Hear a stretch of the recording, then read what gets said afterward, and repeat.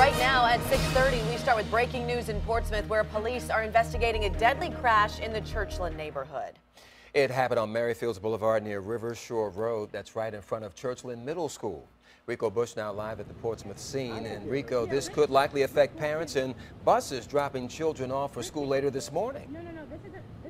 isn't Rick's phone. Yeah, that's right, Don and Katie. Right now, the roadway is blocked off as police investigate this deadly accident here. Now that the sun is up, we want to show you just how bad that accident was. Take a look here. You can see debris still scattered on the roadway and also a lot of debris in that area where that car struck a concrete barrier. You can see some of those doors open and the trunk open as well. Police say that this accident happened just before 3:45 this morning. It appears that that vehicle swi- sideswiped a utility pole, went across River Shore Road and onto that grassy area, then hit a concrete barrier.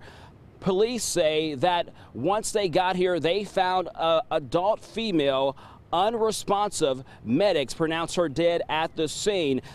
Police are still investigating this accident. This is right across the street, as you just mentioned, uh, from Churchland Middle School. So if parents and buses are coming this area do want to avoid this area because police have blocked off this section as they continue to investigate. We are still working to get some more information from police about what exactly led up to this deadly car accident here. Uh, you can see police are huddled right now, continue to investigate uh, this deadly accident. We're going to stay on uh, continue to stay on scene this morning uh, to try to gather more information, and we'll have the very latest for you on Wavy News 10 over on Fox 43 at 7 a.m. For now, that's the latest here in Portsmouth. I'm Rico Bush, 10 on your side.